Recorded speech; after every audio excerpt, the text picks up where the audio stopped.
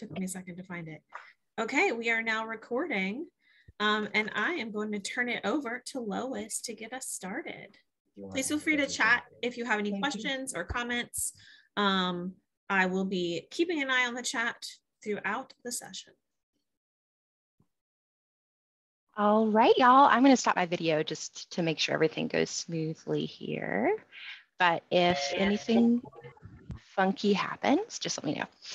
All right, so welcome to Tips, Tricks, and Perks. We were thinking about um, ideas for UL VLC sessions, and this is one that I kind of came up with. And um, Jenny and Paula were super, super awesome to volunteer to present on all the things that different areas of the library can offer to us as staff. So I'm going to start us off talking about reserving study spaces.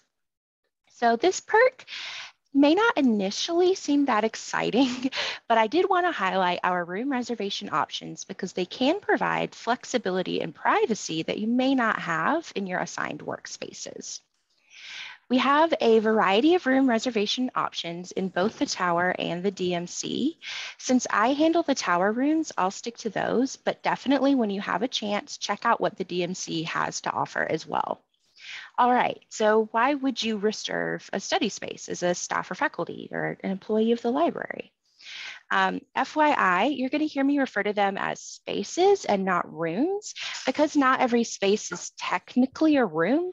Um, I think to be considered a room, it has to have a door and they don't all have doors. But speaking of doors, the number one reason is privacy. So maybe you need to take a private phone call or schedule a doctor's uh, schedule a doctor's appointment things like that. And you need a small space where you can be alone and just close the door. Or maybe you're tired of eating lunch in the same place every day and you want to change a scene, or you brought your favorite tuna surprise and you want to spare your coworkers from having to go through that experience with you. Um, reserving a study space is an excellent option if you do want a little privacy. In addition, for to options for privacy, there are also options for collaboration. If you're like me, yes, Joe, we're going to get to that.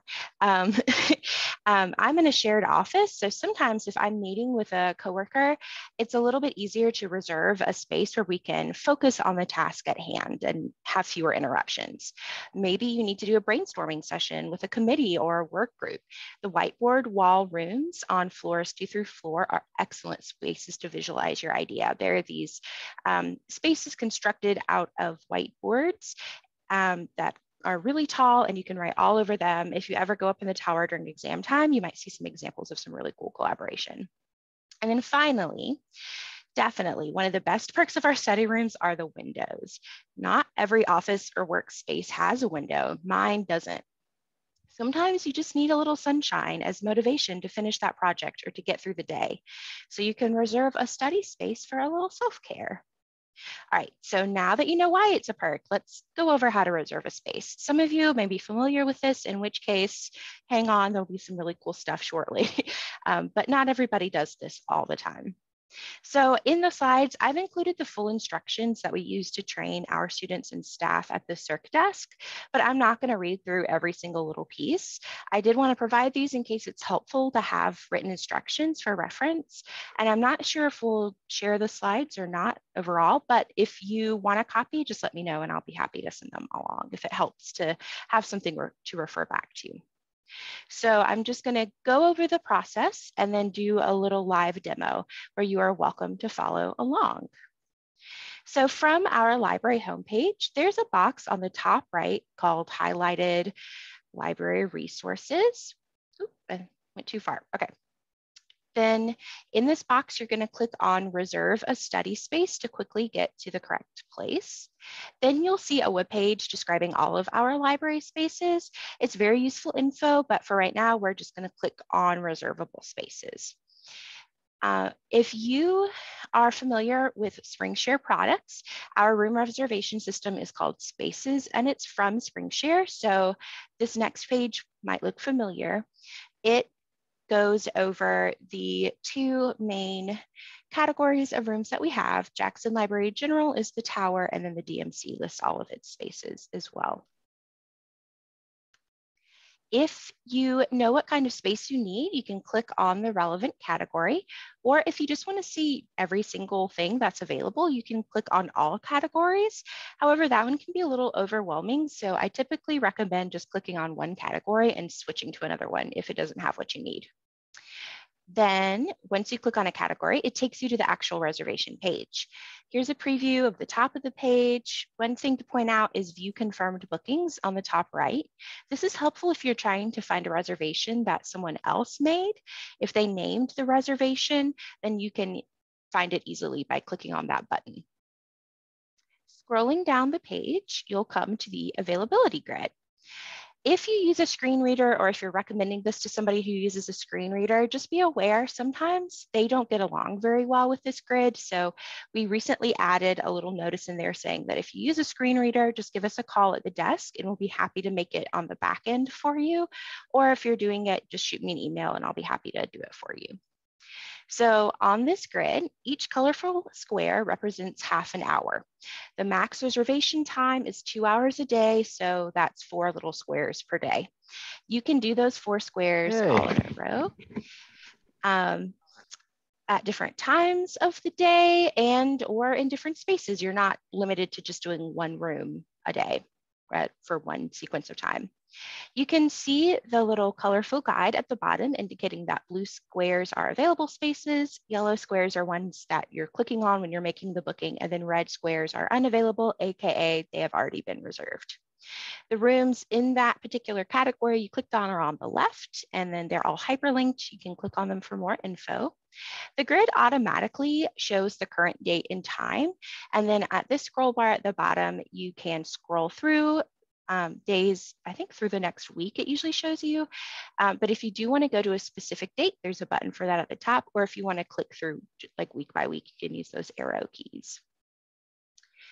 And yes, make sure that when you are looking at the grid that you're actually looking at the date and time that you want to book. This was a big issue when we were open 24 five and the days would just flow into one another. We got a lot of 12 a.m. reservations for people who were trying to book 12 p.m. Um, so just double check before you complete the process. Okay, so to actually make the booking, you're gonna click on a blue square, it'll turn yellow. Then a box pops up underneath the grid. You can either just keep clicking on more little squares or there is a drop down field um, in that box that popped up and it will show you the next um, three consecutive time slots, assuming they are available. Um, you can either click on those to book those times or you can go back in and click more little squares. If you did choose your um, the rest of your reservation from these drop down fields here, and then you decide, oh, wait, I don't actually need that time. If you click the trash can button next to it, it's going to delete every single thing that you clicked. Whereas if you click the individual squares, it'll make a new little drop down link for each one of the squares you click. And that way you can say, oh, wait, I don't actually need it until 4.30. I just need it until 4. And then you can go back and delete them individually, just FYI. So if you go over more than the max four time slots a day, you're going to get this lovely yellow error message. However, if you made a booking earlier that day, like let's say you booked 12 to 1, and then later you come and you make a separate booking that's going to put you over your max four hours, it's not going to tell you to the next step, but then you'll see this red box. Okay, so you've chosen your reservation times and you're ready to complete the reservation. You're going to click submit times. And this is where a lot of patrons run into trouble because you think, I clicked all the buttons, I click submit, I must be done, right? Not quite yet. There's a couple little more things to go through. At this point, if you are not already logged in online with your UNCG credentials, it's going to prompt you to log in with a single sign-on at that point. The next web page summarizes your bookings, and then you have another chance to delete the reservation. Um, this page includes the terms and conditions, like don't do weird stuff on the computer, don't like put your tuna surprise in there, not clean up after yourself, that kind of stuff. Um, then you have to click continue to actually finish up. So it's not pictured here, but you will now see the final step in the process. You can still delete your reservation at this point if you change your mind. And then to complete the booking, there are some form fields, a couple of which are required. So this is the point in time where you can name your reservation if you want to, like let's say you're meeting people from across campus and you wanna name it, you know, collaboration committee or whatever it is. So that way, if they're looking it up, um, they can find you. But the couple that are required are phone number, which is for emergencies or if there's some kind of last minute notification and we need to tell you, oh, I'm sorry, that room had a pipe burst or something and it's not available, we can get in contact with you. And then you're gonna choose your status. That's just if you're faculty, staff, different kinds of students or other. Um, y'all are probably going to choose faculty or staff, and this is helpful on our end for usage statistics. Then you finally get to click submit my booking, and at that point, you're done. So you'll see a final confirmation page that looks a little bit at something like that. After you finish the reservation, you're going to receive a confirmation email sent to your UNCG email address. And that is super important, not only because you can forward it if you have other group members at your meeting, um, it gives you little directions to the room in case you haven't been there before, but it also includes a link to cancel your reservation in case your plans change and you don't want it, you know, you want to release that time to others. Okay, I know that was a lot of information at once, um, but very quickly, I just want to walk through this process to show that there are a few steps, but it's not as long as it may seem. Um, if you do follow along on your end, um, please don't click the same squares that I do. It might lock us both out. so let me, ooh, I want to, I clicked away from that exit slideshow. Okay, so here we are on the library website. And again, right here, you just click on reserve a study space and then reservable spaces. Let's say that I know I want a room with a computer. Right now, we only have one set of rooms that have computers, and those are the small student study rooms on the second floor.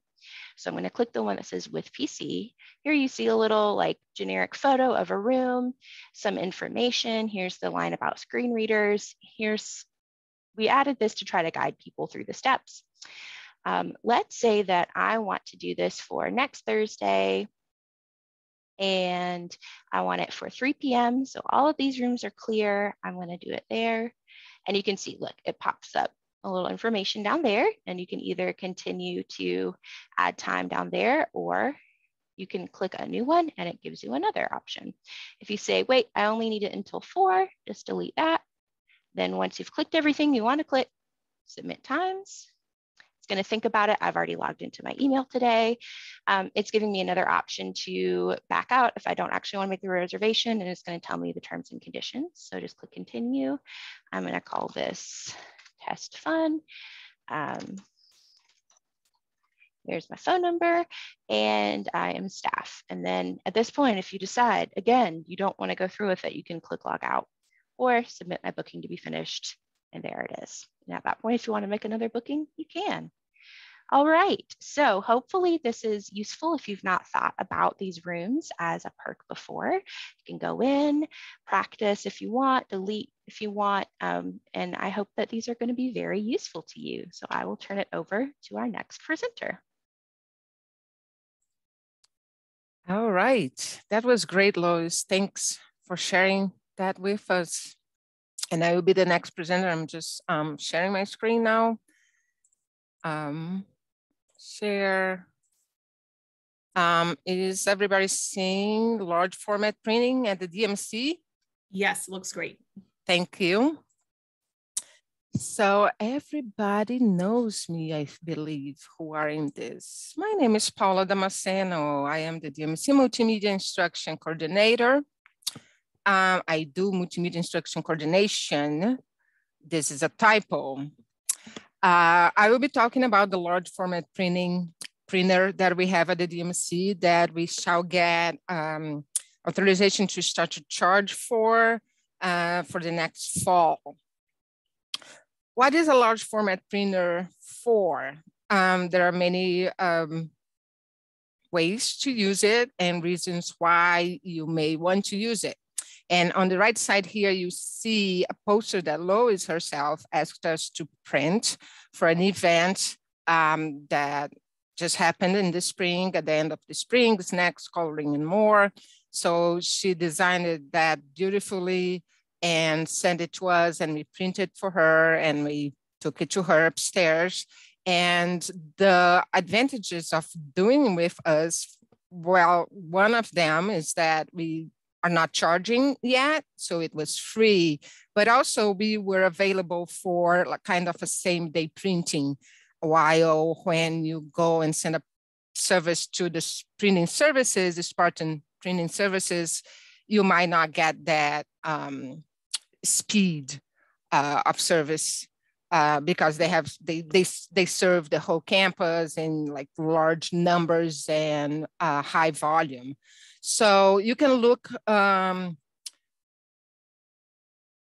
uh, you can uh, look for to uh, print a poster, a sign, a photography, a fine, art print, and even um, plan for small edition publications with that large format because um, it one, it's a high quality printing, beautiful. Uh, you can see uh, when you come down to the DMC, we have one big print uh, on top of it, and you can you can see how beautiful the colors are and how it's uh, really reliable printing. Um, so here we have a student who um, is basically an overflow from the art department who uh, they do have uh, large format, format printing there, but um, this student used our printer to print their work here uh, and was beautiful. The colors are wonderful. The paper, um, pretty nice. We do provide our, so let's talk about what the printer is. And um, I can later sh share that presentation so you can click on that link that directs you to the Epson website where you can have tech more technical information about the printer, but it's an Epson SureColor P6000. And the maximum printing size is 24 inches by 5 uh, 129 inches. So it's a roll of paper that is inside the, the printer here. We do provide uh, professional media double weight. There's a typo here, I'm sorry, matte paper roll. Um, and we uh, like to say that we, although we could print a, a 24 by 529, we are limiting it 24 by 82. So it's printable and we have a surface where it needs to rest flat for a little while to dry. Um, one word that is important to highlight here is that we did not pur purchase the same thing that Dex has, so we don't over, like we don't overlap, uh, needlessly overlap services here. So uh, while Dex can print a scientific poster, which normally are required to be 36 by 48, of course, you may uh, pay attention to the guidelines of your conference. If you are presenting in a conference, please always uh, check the guideline of that specific conference because they might vary. But if it is 36 by 48, then uh, reach out to Dex Studio. And again, uh, it's linked here, their page. Uh, and um, there's a maximum thickness of uh, 1.5 milli millimeters um, to the paper. You can um, bring your own paper, but it needs to be a inkjet paper and we need to look for the profile of the paper to be installed in that computer that we have attached to the, um, uh, connected to the printer. And once we do that, we can then use the paper you bring that again needs to be a uh, inkjet uh, paper with a maximum thickness of 1.5. It can also um, bring transparency paper. We have students here who have uh, brought their transparency papers for different purposes. But basically, uh, we do provide you with the paper. So you can make use of that, of that as Lois did. So how to request a print? Uh, we have a step-by-step -step here, which is basically go to the DMC, uh, DMC LibGuides.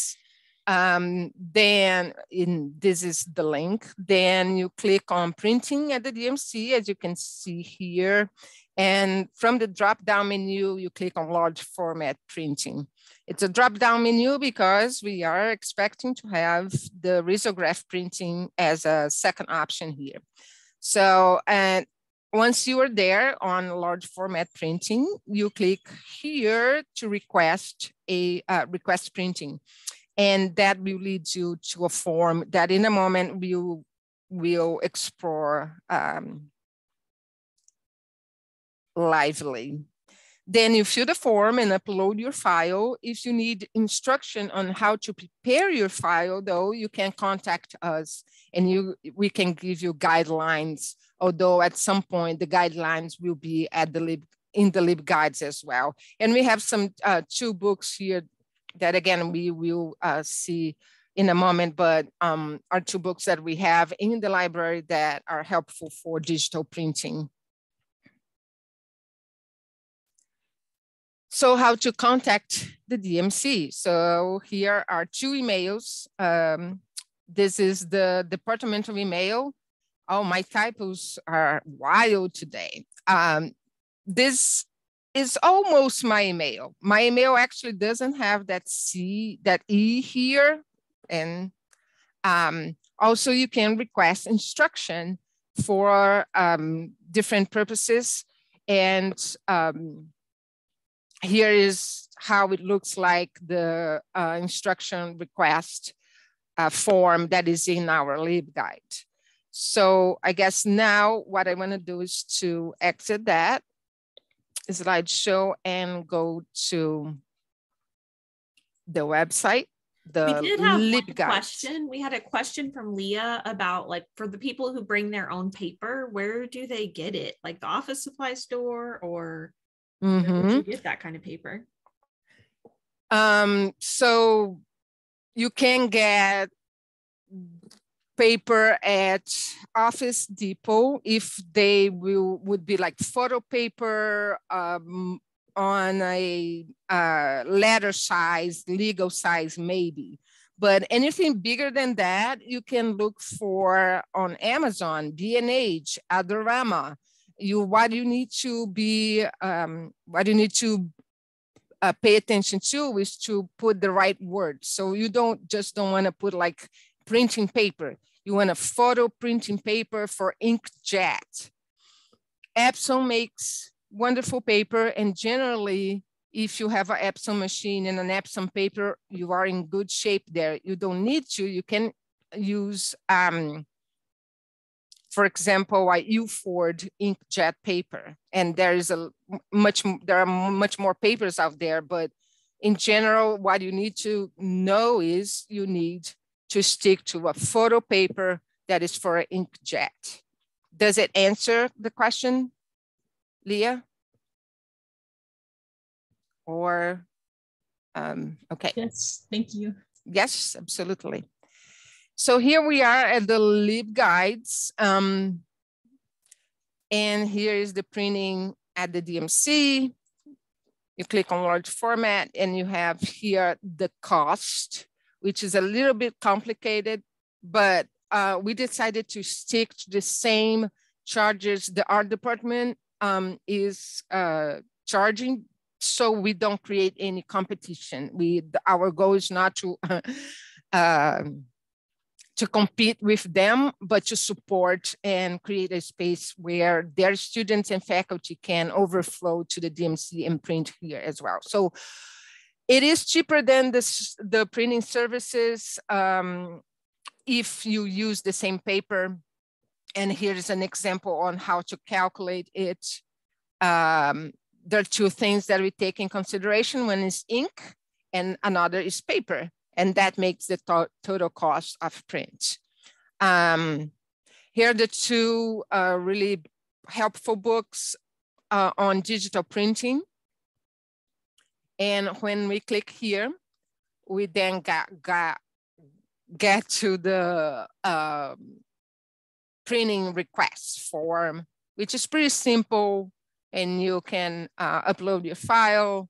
Uh, you just let us know if you're bringing a paper or if you're going to use our own paper, your name, and we will automatically collect your UNCG email when we get uh, that. You need to be logged in um, to be able to fill that form. Um, that's it. Thank you for being here today and let me know if I think questions will be all together at the end if I'm not wrong, uh, or maybe I am. I will stop to share. We can do uh, we can do questions at the end. Although if anyone has like a, an immediate burning question, feel free to put it in the chat. But thank you. That's awesome. Um, the prints look amazing. The examples that you have. So thank you for sharing.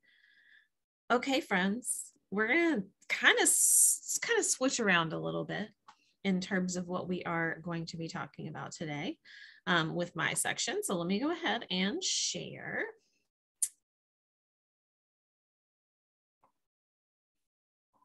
Okay. I'm going to be talking about finding your next great read. Okay, so let me make sure I have all my stuff. I haven't done um, I haven't presented in Zoom since, well, it was only last week, but for some reason it feels like a really long time ago since I'm used to doing it so often. All right. I'm going to be talking about a resource called Novelist Plus. I'm just curious, and you can answer this in the chat if you'd like, um, if anyone has used Novelist Plus. Um, it sounds like Rachel has. Yes, excellent. I'm seeing a no. Rachel, are you raising your hand to show that you have used it? Okay, wait. Yes, ma'am. Yes. Thank you. Um, okay. A mix. Most people have not. Well, I'm excited then, extra excited. Um, so this is the description that we have on our um, databases list. Uh, has reading recommendations for both fiction and nonfiction for all ages. Novelist expertise in books and reading means always getting the best help for finding the right books. I use Novelist a lot. I'm a big reader. I know um, many of my colleagues are big readers as well. We are going to get to it and I'm going to demo it. We can access it through the databases list, which I will show you. But for now, I just want to tell you a little bit about what you can find in there. So the way that I typically use Novelist is if I have found something that I really like, an author, a book, a series, and I want to find stuff that is similar. So you can search in Novelist Plus. You can do a basic search and you see I have a little screenshot here um, where you can search by keyword, title, author, series, etc. Um, and then you can also do an advanced search and I'll show you when I demonstrate it, but there are so many different limits. I said dozens here and I'm pretty sure it's at least multiple dozens. You can also browse. This is one of the things that to me is really unique about Novelist compared to other sort of readers advisory tools. And this is my understanding is that it was created as a reader's advisory tool for public library workers, um, but it is set up in such a way that it can be used for that and it can also be used for like your own personal reader's advisory. But you can browse by genre, appeal, themes, award winners, and audiobooks. We will go through, particularly appeal, because you might think, what is that? As I did the first time I saw it. You can also browse through recommended reading lists. Um, I'll show you that. You can find author, book, and series read alikes. This is something that I have found really useful myself. And then you can suggest your own read alikes. If you're thinking, oh, well, this author is very similar to this other author, you can actually make a suggestion to Novelist and they will um, uh, consider integrating it into the database. Novelist I'm pretty sure that everyone who works there, or at least many of the people who work there, are in Durham, North Carolina, um, working through EBSCO. Uh, a lot of people I went to library school with ended up working at Novelist. So sometimes I'm in here and I'm reading little reviews and I say, "Oh, I know Hallie. I know, I I know Shauna." You know, kind of. It's fun. We're gonna try it. Let's do this. All right. I'm gonna start at the library homepage where all the magic happens. That's one of my lines I use in class a lot. Um, and I am going to go to our databases list. And you can browse directly to it, but you will see that I have searched for it many a time. And I'm going to go to it here. I'm also going to grab, oops, I'm going to grab a link for you all that I will pop in the chat if you are interested in taking a look. But I'm just going to go through a few things. If you have questions as I'm going through, or if there's something you see that intrigues you, please let me know and I will be happy to um, show it. But the this is the main page here. Um, there are these recommended reads list over on the left. I mentioned those. Um, they have uh, some sort of suggestions here for, and these are some of these sort of appeals types of things that they have. Um, they tell you um, more like, so here, this is for an adult audience, dramatic and large cast of characters, and we can kind of go through and see what they've got. You can read about each one.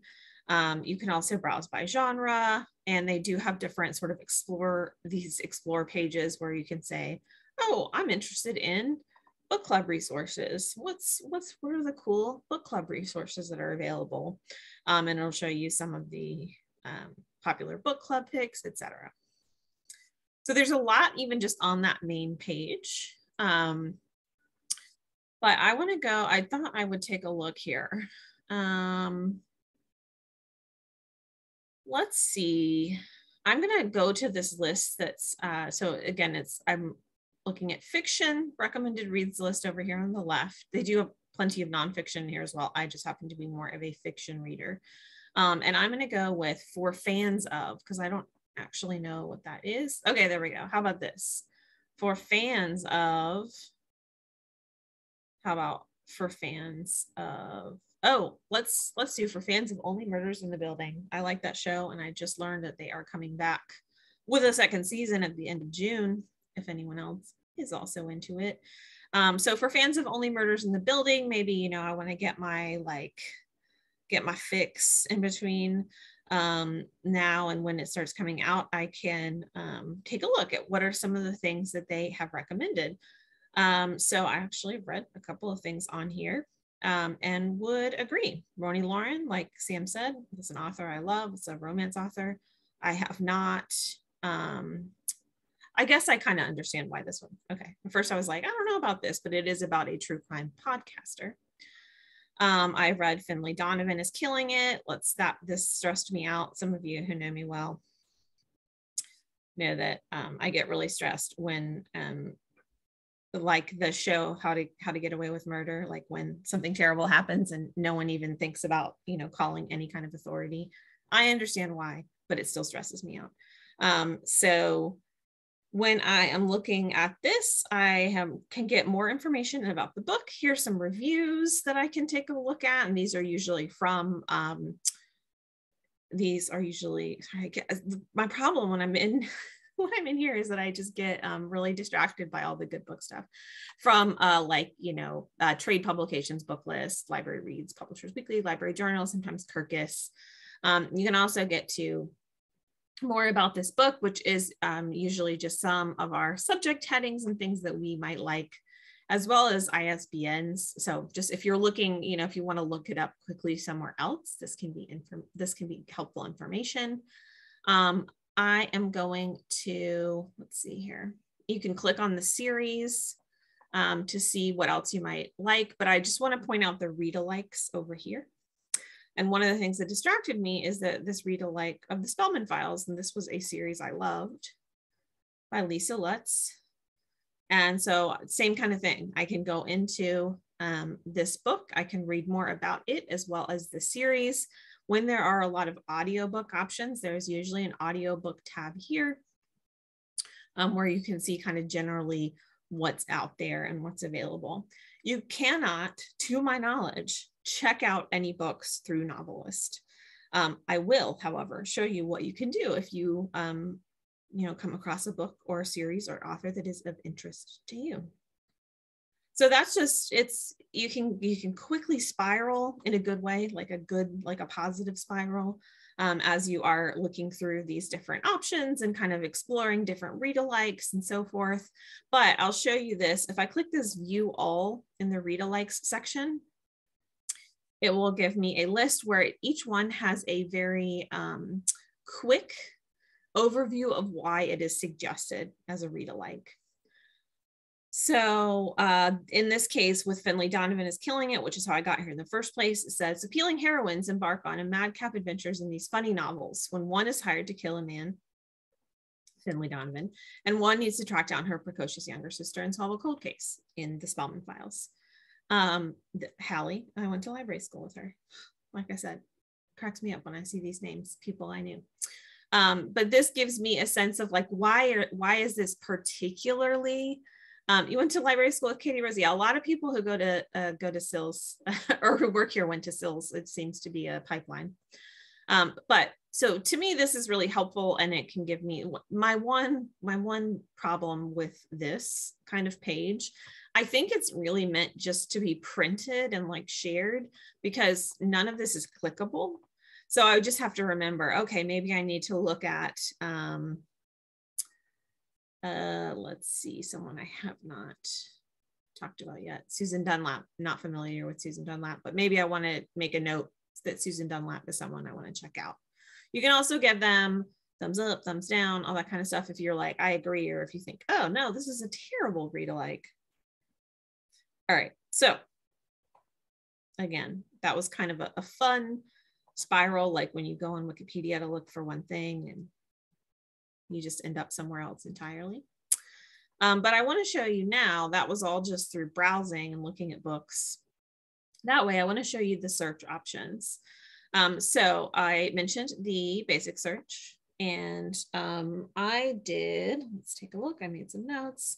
I was looking um, for, this happens to be mysteries as well. I don't, um, mysteries is not my number one genre that I read, but I am really excited coming out the same day as the next season of um, Only Murders in the Building is uh, the new book in Elly Griffiths. Um, go to her series tab.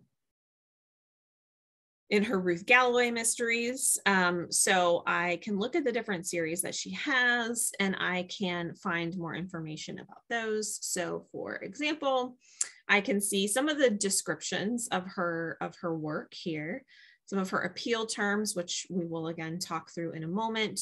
But you can see things like what genre is this considered to be? How is the character described? What kind of storyline, what kind of tone, what kind of style? And you'll see how I end up kind of making, making this work for me. I do get some read alikes over here just generally for this author, but because I know that I particularly like this one series, Ruth Galloway series, I can click on this mysteries, uh, Ruth Galloway mysteries link here, or I can click on series read alikes, which is what I'm going to do.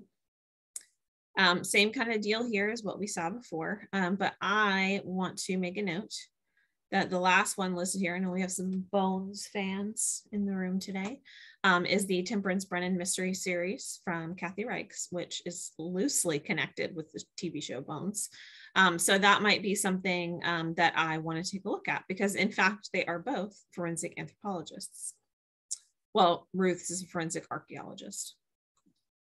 Things work pretty similarly. So, um, all right, so I've got that in mind. I wrote it down already. You didn't see me write it down, but I have it written down there. Um, because maybe I want to look into some more of that later on. I want to show you the advanced search now because as I promised, it has a ton of options. Um, so you can look at, um, let's say I really want to read, oh my gosh, there's just so many. Sorry, I'm getting like so excited just looking at this stuff. So maybe I want to look at a genre and one of the genres I read a lot is romance. So maybe I want to see if I can find a romance um, for an adult audience uh, with a non-binary author. This I may be limiting this too much um, already just by getting again so so jazzed about things. You can even do so if you um, have children or you are interested in this. There are Lexile ranges and grade levels that can help you um, narrow things down. You can look at, at, accelerated reader interest levels, all kinds of stuff like this. Yeah, Rachel, you have a question. Sorry, what's your question? Yeah, I was wondering if um do they have like it, and you may have said something like this trigger warnings like if there are scenes that could be particularly like disturbing to readers is there anything like that that is a great question um i don't know um we can look when we look at some of the um, books, but that would be something that we could that we would you know that we could definitely yeah. um, suggest to them. Um, say like, "Hey, Hallie, do you remember me from library school?" No, I have a great idea. Um, but yeah, thank you for asking that. That is really great. I have noticed um, that a lot of publisher websites are now doing this, keeping lists of content warnings for different books um, that they have, which I really appreciate.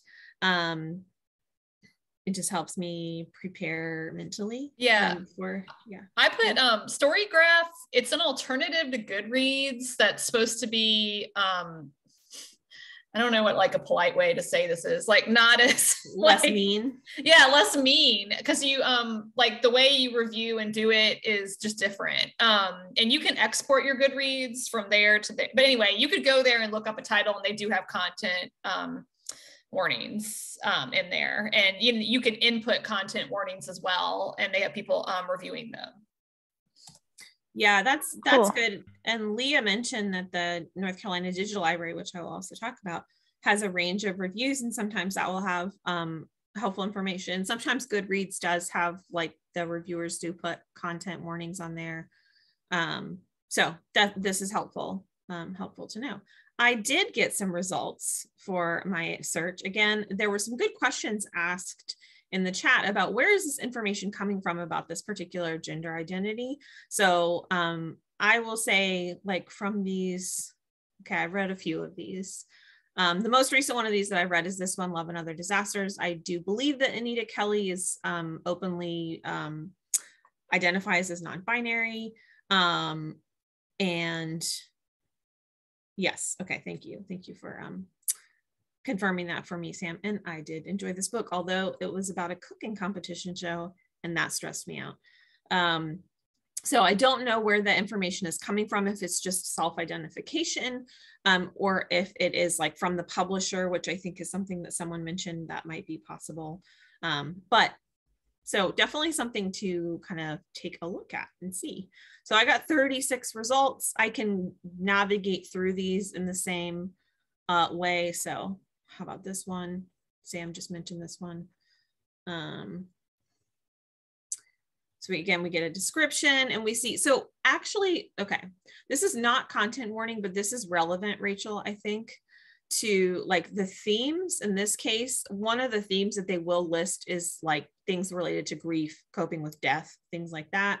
Um, so that can be um, really helpful in terms of at least getting a sense of like what's going to be what can i expect to find here? I just read a, a, book. I get a lot of books through netgalley um, advanced reader copies through netgalley and i just read one that i was not expecting to be very much about major depression um, and it was it was on me because i didn't really um, do enough research ahead of time but i it kind of threw me for a loop because like I would have read it anyway, but I would have approached it differently because um, it had kind of a fluffy, cute rom com cover, and it was not. It was not like that. It was not a rom com. Um, but yeah, so I want to show you. People are interested in the appeal terms. I really want to read this book too. Um, okay, so I want to show you about this browse by appeal because to me, this is one of the coolest and most interesting things about. Yeah, took a second about novelist. Um, so I'm sticking with um, adult audience. I'm going to go with the category. What did I do here? This was um, this is something I do um, a lot is to look in here for ability diverse characters. Um, then you can start to look for category, other categories here, um, pace, storyline, tone.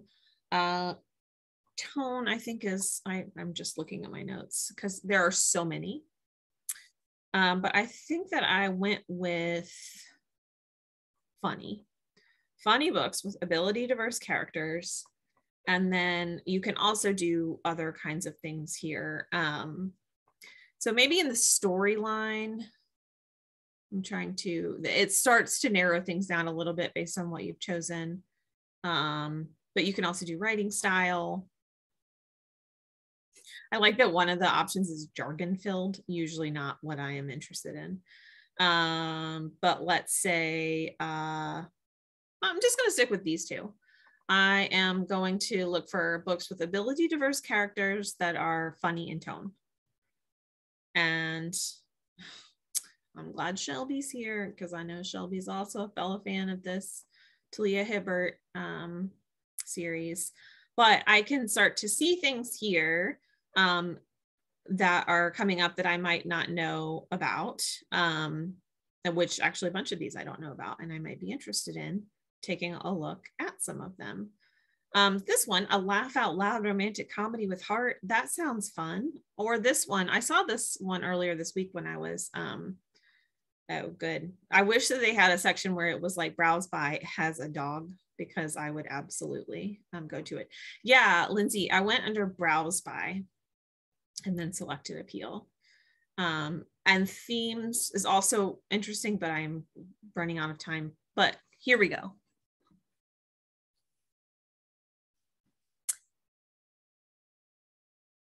Oh, well, that's cool. Lois says, we looked at a library systems catalog in my information system class that incorporated read-alikes. And I think some genre terms in their catalog. It was a neat widget that made for um, easy browsing. That's awesome.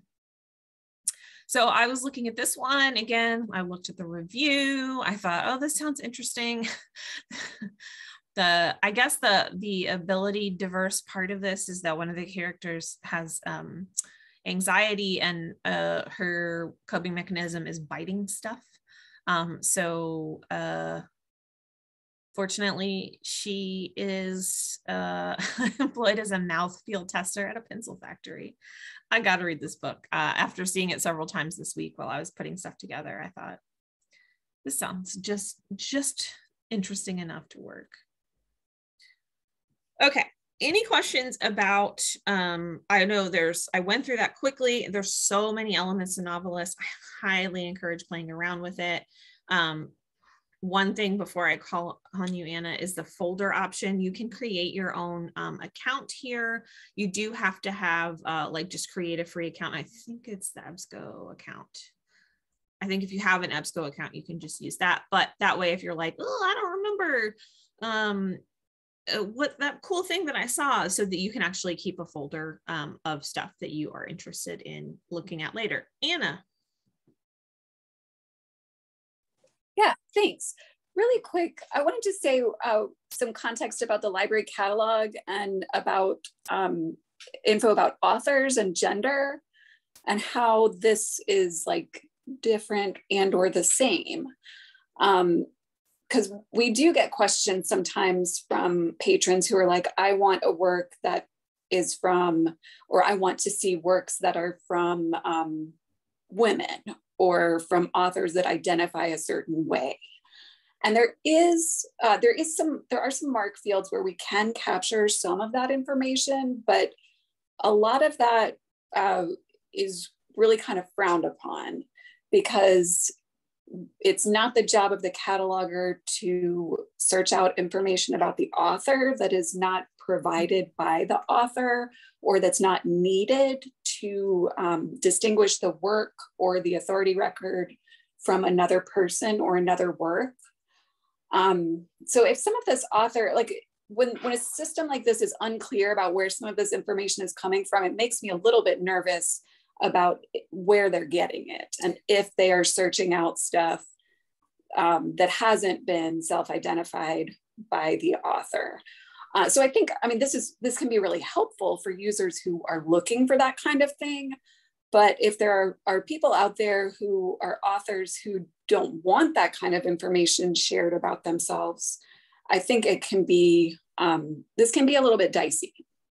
Yeah i'm glad i'm glad you said that. And, and i looked in their help which is where i usually go to try to figure out where information is coming from um, and it says under author characteristics it just says if available the author's gender identity nationality and cultural identity will be listed. Again what does that mean available?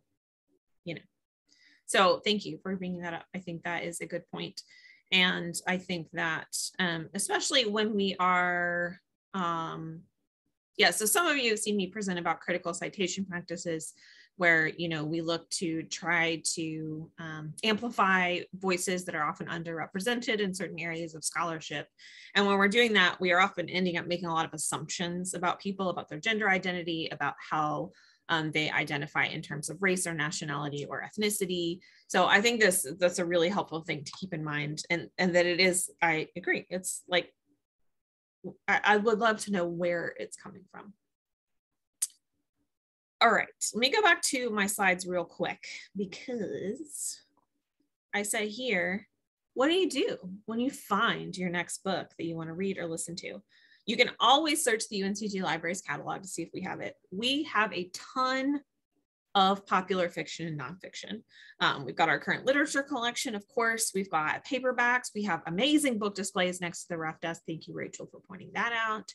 Um, but we also have a lot in the stacks. We have a lot of popular fiction, especially if it's sort of categorized as like literary fiction. A lot of it ends up in the stacks because of approval plans that we have, or we have a creative writing program, a really good creative writing program. Um, in um, our English department. And so, as the English liaison, I do try to kind of keep up with some of the things that are going on and coming out. So, we do, we have a lot of great popular fiction and nonfiction in the library. Um, I hope that all or most of you have public library cards. If you don't, you should get one, if only to use the North Carolina Digital Library, which is powered by Overdrive. And you'll sometimes hear it referred to as Sam did in the chat, Libby. That's the app that goes with it. Um, so I uh, really encourage you to do that. I use my own library card number to check out books, my husband's library card number to check out books my mom's library card number to check out books, my sister's library card number to check out books, check out a lot of books. Um, the nice thing, and yes, it does get a little frustrating if you have any holds on your account, but the nice thing with the digital books, if you ever kind of clear that situation out, Michelle, is that they just go away and they don't charge you any late fees. No, Libby does not cost any money. Um, it is all free. I highly encourage it. And it has a really good audio and ebook selections. Um, the other thing I wanted to point out is Hoopla. Um, and Hoopla is a resource that you can get through your public library, or they, I think, um, they have, I think it's a recent addition to NC Live. Um, the NC Live version is kind of a bummer in terms of selection.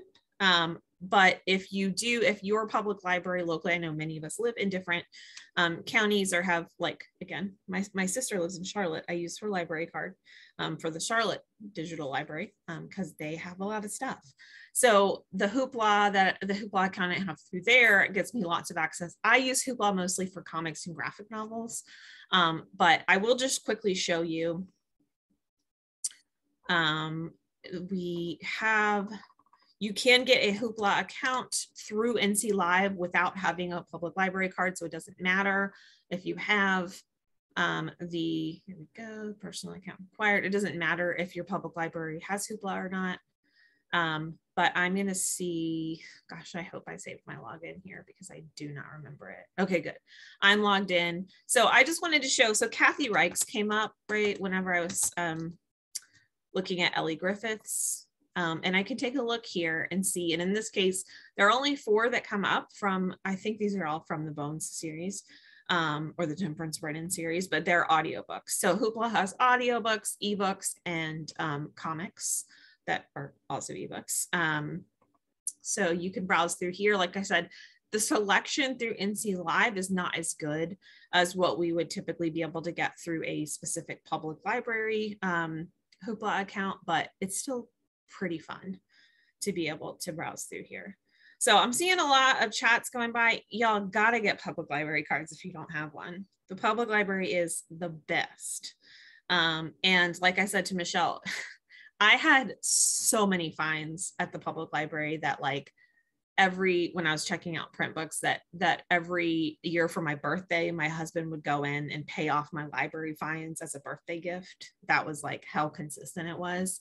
Um, it has changed my life to have only the uh, only digital books because they just go away. And sometimes it's annoying that they're gone. You might not have finished it, but at least you don't have to pay any money. Sam has a hand up. Sam, yes. I was just going to crowdsource. I don't know, Jenny, if you know this, but like this is through the UNCG libraries. Do you think that we can? I know that like when I download these apps on my phone, you know, like Libby and Overdrive, that I like put in my public library card, you know, but like could we get the Hoopla app on our phone? I'm thinking about like for audiobooks. Um, and then, you know, would it then connect to UNCG you know, or NC Live, or it would you know be I mean? NC Live rather than UNCG. I, actually, this is something Christine and I talked about this years ago. That a, not a lot of academic libraries do something like Hoopla because our FTE is so astronomical. Yeah. Um, compared to who their usual customers are. Um, but I mean, I think it's something we could we could continue to look into. But you can definitely get the um the Hoopla app even just for the what they do have in NC Live. And I, I think my sense is that this is a newer addition to NC Live, so I hope they'll be adding more. Um, but a lot of public libraries do have access to Hoopla. Um, and pro tip for anyone in Guilford County, you can get a public library card at the High Point Public Library if you're a resident of Guilford County. And at least a few years ago, they had um, they had uh, Hoopla access. Um, I will say you should, you know, uh, this is my librarian thing. You should double check that and make sure it's still true. Um, but I have a High Point Public Library card that I got one time when I was over there for an NCLA executive board meeting. Um, and I just had to show that I lived in Guilford County because some of High Point is in Guilford County and some of it is not. So um, just something to uh, keep in mind. Another thing I put this in the chat, but I feel like I didn't know. Jenny told me about this. But if you have an ALA number, you can also sign up for NetGalley, um, which is where you get advanced reading copies, um, and then they just download for free on your Kindle. And then all you have to do uh, for it, I mean, it keeps your ratio up, which means they keep giving you books. Is a um, is write little reviews like mine are just like a paragraph. Um, yeah, if you have NetGalley questions, let me or Jenny know. I guess. I mean, I think Catherine does NetGalley too. If she's in here. Uh, Catherine Howman. Um, I don't know if she's here. I see. Yes. So yeah, like it's. Yes, I feel like I don't get like a whole lot of perks being an ALA member, but I yeah. like I will get me some free advanced reading copy. and you don't have to be an ALA member. It just helps you get. I mean, in my experience, it helps. I've never gotten denied a book. Well, um, I have. So let's stop but, bragging. But, but, you read like Jenny reads like a book a day. I don't. Not, not always, but sometimes. I have very specific tastes, and um, I'm not reading that much. If anyone has that NetGalley questions questions, I'm happy to. But yeah, I love Rachel's idea. I think we should do a UL VLC on for fun reading and we can tie it again like we did today to library resources and stuff like that. Um, sorry that I talked about that stuff for so long, but I'm glad that some people are excited about it. I would love to hear if you go and use um, Novelist, um, please tell me about it um, because I love Novelist. I was hoping Maggie would be able to come here. She had a conflict because I also used Novelist in a very weird way back in, I want to say it was last year at some point, where Maggie said, I'm trying to remember this book that I read when I was a kid and it was um, set in Hawaii, and there was a surfer, and a girl was living there with her dad over the summer, and we could not find it anywhere on Google, and I found it through uh, Novelist by playing around with a bunch of their advanced search um, techniques. Uh, it was one of my proud librarian moments. Um, to that could be good for chat. Don't we? Yeah, chats like that that are like. do yeah. I have a feeling that a book is somewhere. yes, I, I'm. I remember reading a book that had a mirror in it. You know, kind of deal. So, all right. Well, I want to thank you all so much for joining, and I want to especially thank Lois for having this idea, um, and uh, Lois and Paula both for presenting. I learned a lot today, um, even from doing my own session and preparing for it. Um, and I definitely learned a lot from y'all. And uh, yeah, thank you all so much. This was fun. And I look forward to hearing if you use these tips, tricks, and perks. Bye, everyone.